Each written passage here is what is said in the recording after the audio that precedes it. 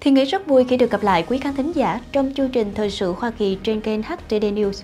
Sau đây chúng tôi xin được gửi tới quý vị bài phân tích bình luận có tựa đề Kinh tế Mỹ thời Trump và Biden, bạn có sống tốt hơn 4 năm trước không? Quý vị thân mến, cuộc sống của bạn hôm nay có tốt hơn 4 năm trước không?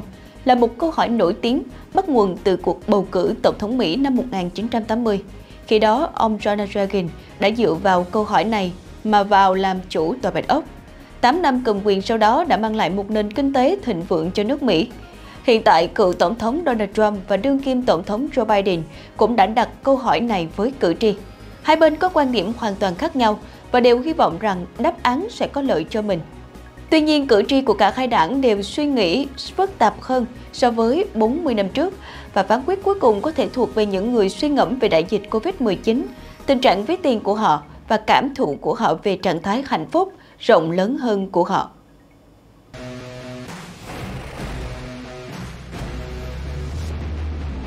Ông Trump, cuộc sống tốt hơn dưới thời Trump sẽ không có chiến tranh. Vào ngày 18 tháng 3, ông Trump đã hỏi những người ủng hộ mình bằng chữ in hoa trên nền tảng mạng xã hội Truth của mình sau câu hỏi kinh điển này. Cuộc sống của bạn ngày nay có tốt hơn 4 năm trước không? Tại một cuộc vận động tranh cử vào tháng 3, ông Trump đã đưa ra một bản tóm tắt sâu rộng về 4 năm đầu cầm quyền, nói với những người ủng hộ. Dưới thời chính quyền Trump, cuộc sống của các bạn đã thay đổi hơn, gia đình các bạn tốt hơn, hàng xóm của các bạn tốt hơn, cộng đồng của các bạn tốt hơn, đất nước của chúng ta cũng tốt hơn, tốt hơn, tốt hơn. Đó là sự thật. Nước Mỹ đã trở nên mạnh mẽ hơn, hùng mạnh hơn, giàu có hơn, an toàn hơn và tự tin hơn. Ông cũng nói, bạn sẽ không bao giờ có chiến tranh dưới thời chính quyền Trump, Nga sẽ không bao giờ tấn công Ukraine, Israel sẽ không bao giờ bị tấn công, bạn sẽ không có lạm phát. Các đồng minh của ông Trump không hề giấu giếm rằng người Mỹ hiện nay không khá hơn gì so với 4 năm trước. Họ tin rằng dưới thời chính quyền Biden, làn sóng nhập cư bất hợp pháp ở biên giới phía nam nước Mỹ đã gia tăng, cùng với lạm phát cao đã khiến cuộc sống của nhiều người Mỹ trở nên khó khăn và họ sẵn sàng quay trở lại với các chính sách của ông Trump.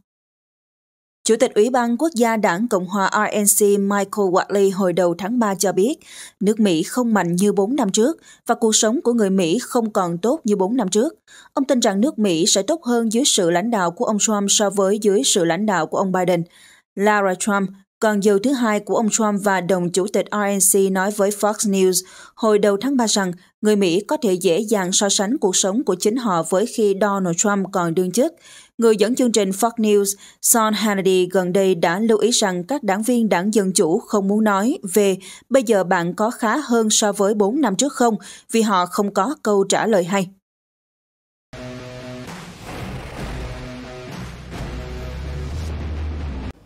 Ông Biden đã có một trận đại dịch cách đây 4 năm. Theo hãng tin AP, nhóm tranh cử của ông Biden không hề có ý định hỏi cử tri câu hỏi kinh điển này của Tổng thống Reagan, nhưng sau khi ông Trump nêu ra câu hỏi, Tổng thống Biden đã nhanh chóng bác bỏ. Ông Biden đã nêu vấn đề này tại ba buổi gây quỹ ở Texas trong tuần qua. Nói chuyện với các nhà tài trợ giàu có của mình ở Dallas vào ngày 20 tháng 3, ông Biden cho biết, nói về Donald Trump, chỉ vài ngày trước, ông ấy đã đặt một câu hỏi nổi tiếng tại một cuộc meeting. Ngày hôm nay của bạn so với 4 năm trước như thế nào?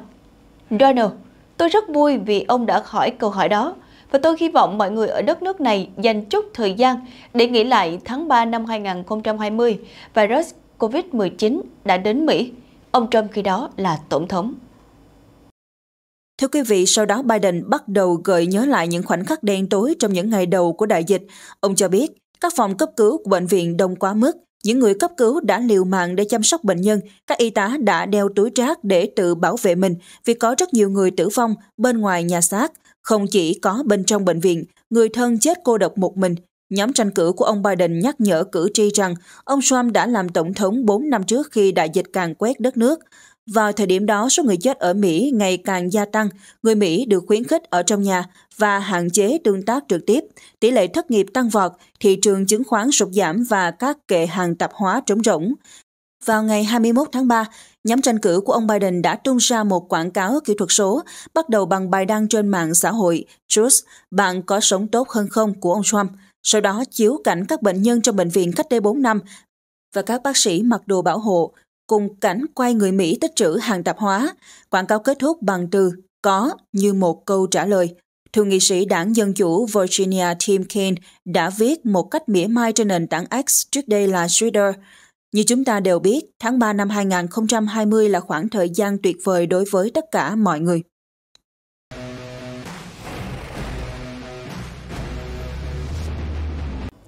Đại dịch sẽ ảnh hưởng đến cuộc bầu cử năm 2024 như thế nào?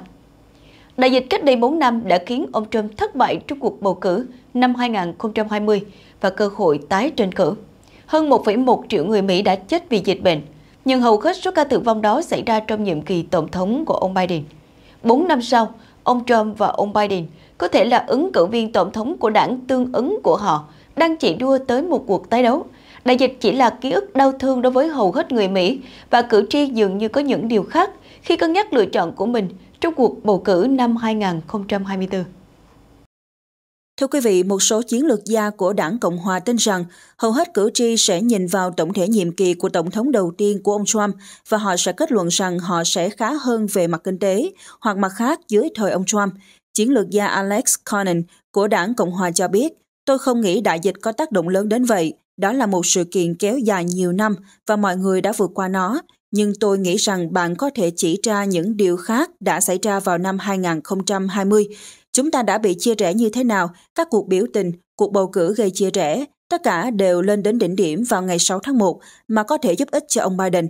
Bà Sarah Matthews, cựu phát ngôn viên Tòa Bạch Ốc trong thời chính quyền Trump và sau này trở thành người chỉ trích ông Trump cho biết, tôi có xu hướng nghĩ rằng mọi người sẽ nhìn thời chính quyền Trump một cách toàn diện hơn, chứ không hiểu nó theo nghĩa đen. Tôi nghĩ mạch suy nghĩ của họ sẽ không nhảy trở lại đại dịch ngay lập tức. Tôi nghĩ họ sẽ xem xét toàn bộ thời kỳ ông Trump cầm quyền. Đáp án của câu hỏi cuộc sống có tốt hơn không có thể khác nhau tùy theo từng người, tùy thời điểm hoặc từng tình huống, ông Alex Conan nói. Ngày nay câu trả lời rõ ràng là điều đó còn tùy vào tình huống, đại dịch đã kết thúc, không ai đổ lỗi cho ông Trump vì đã gây ra nó và không ai ghi công ông là người đã tạo ra loại vaccine đã chấm dứt đại dịch. Nền kinh tế hiện đang hoạt động tốt, nhưng nó xuất hiện sau một đợt lạm phát kỷ lục và mọi người vẫn lo lắng về điều đó. Đối với hầu hết cử tri, câu trả lời là không rõ ràng. Đó là lý do tại sao bản thân kết quả cuộc bầu cử vẫn chưa rõ ràng. Ông nói thêm, Tôi không nghĩ có cử tri nào muốn quay lại những ngày đen tối của năm 2020, nhưng xét theo số liệu thăm dò dân Ý, hầu hết thì cử tri cũng không thích năm 2024 cho lắm. Cô Caroline Levitt, Thư ký báo chí quốc gia cho biết chiến dịch tranh cử năm 2024 của ông Trump cho biết ông Joe Biden và các đồng minh truyền thông của ông ấy có thể chọn những con số từ thời điểm tồi tệ nhất của cuộc khủng hoảng mà họ muốn. Nhưng người Mỹ biết Biden là một thảm họa. Dưới thời ông Trump cầm quyền, cuộc sống của họ sẽ tốt hơn nhiều. Đây là lý do tại sao cựu Tổng thống Trump tiếp tục áp đảo so với ông Biden trong các cuộc thăm dò.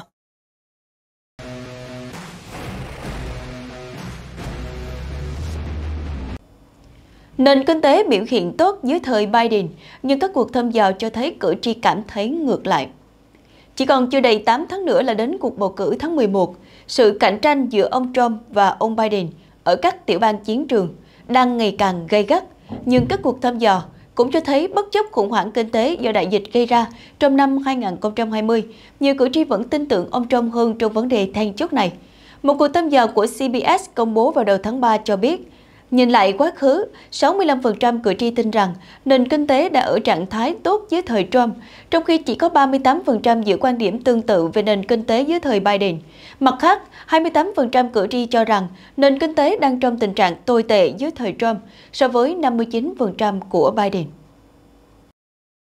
Thưa quý vị, cuộc thăm dò tương tự cho thấy 46% cử tri đánh giá nhiệm kỳ tổng thống của ông Trump là tốt hoặc xuất sắc, trong khi chỉ có 33% đánh giá nhiệm kỳ tổng thống của ông Biden cho đến nay là tốt hoặc xuất sắc. Mặt khác, 53% cử tri đánh giá nhiệm kỳ của Tổng thống Trump là trung bình hoặc kém so với 67% của ông Biden.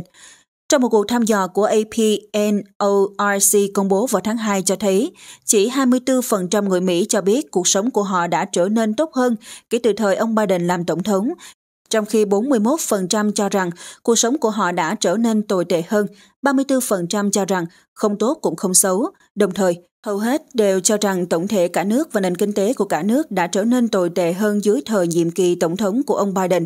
Bộ trưởng Tài chính Janet Yellen vừa ca ngợi thành tích kinh tế của chính quyền Trump trong tháng 11. Bà chỉ ra rằng xu hướng tăng trưởng kinh tế chung là thuận lợi, tỷ lệ thất nghiệp tiếp tục ở mức thấp, lạm phát giảm và niềm tin của người tiêu dùng tăng vọt.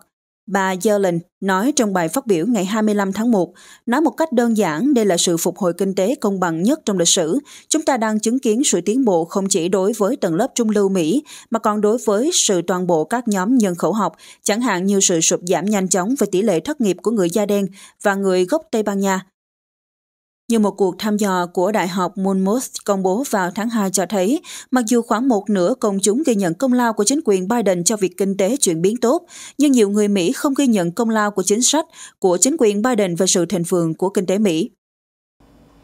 Trong số các hộ gia đình trung lưu ở Mỹ, 45% cho biết họ không được hưởng lợi gì từ các chính sách của chính quyền Biden. 33% cho biết các chính sách của chính quyền Biden mang lại lợi ích rất ít cho họ và chỉ 16% cho biết các chính sách mang lại lợi ích cho họ. Ngoài ra còn có 7% người cho biết họ không chắc chắn các chính sách có lợi cho họ hay không. Cuộc thăm dò cũng cho thấy sự chia rẽ đảng phái rõ ràng, với 61% đảng viên của đảng Dân Chủ cho biết họ được hưởng lợi từ tăng trưởng kinh tế trong nhiệm kỳ của ông Biden, nhưng chỉ có 27% đảng viên độc lập và 14% đảng viên Cộng hòa nghĩ như vậy. Các cuộc thăm dò này cho thấy Mặc dù nền kinh tế thời chính quyền Biden đang có biểu hiện tốt, nhưng hầu hết người Mỹ đều cảm thấy ngược lại và quan điểm của họ về tình hình kinh tế trong nhiệm kỳ của ông Biden vẫn tiêu cực. Điều này khiến cho chính quyền Biden và nhóm vận động tranh cử năm nay của ông cảm thấy rất bấp bênh bởi vì họ luôn muốn mọi người tin rằng ông Biden thực sự có một câu chuyện thành công về mặt kinh tế. Và thông tin vừa rồi cũng đã kết thúc nội dung phần tin tức của chúng tôi tại đây. Mọi ý kiến đóng góp cho chương trình, xin quý vị để lại ở dưới phần bình luận hoặc gửi qua hộp thư htdnews.btv a gmail.com. Một lần nữa, đội ngũ HTD News rất mong nhận được sự ủng hộ của quý vị khán thính giả. Xin chào và hẹn gặp lại ở bản tin kế tiếp.